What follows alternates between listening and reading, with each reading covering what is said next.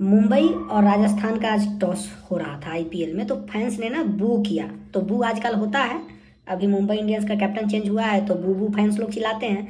तो इसमें संजय माजरेकर संजय माजरेकर एक कमेंटेटर हैं और वो टॉस के समय पे जब ये बू हुआ तो संजय माजरेकर वो दोनों कैप्टन्स के पास थे और उन्होंने पूरे फैंस को माइक में बोला बिहेव मतलब ये बीसीसीआई अथॉरिटी दिया है।